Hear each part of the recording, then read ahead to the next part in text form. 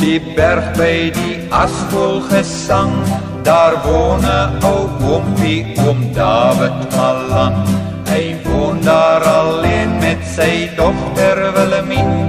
So mooi en so fraai het ek nooit nog gesien. Willemina, Willemina, as ek jou maar kan kry Dan lyk die ou wêreld soos 'n blomtuin vir my Dan woon ons so tweeetjies so stoksiel alleen.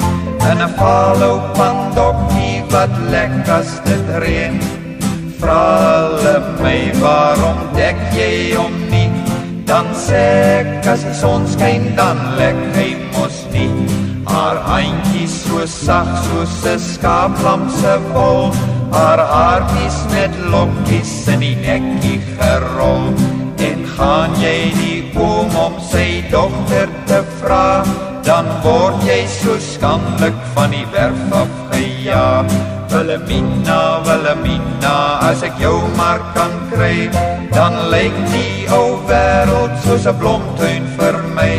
Dan woon ons so tweeetjies so stoksiel alleen En 'n falou pandokkie wat lekkas dit reën Vra hulle my waarom dek jy om nie?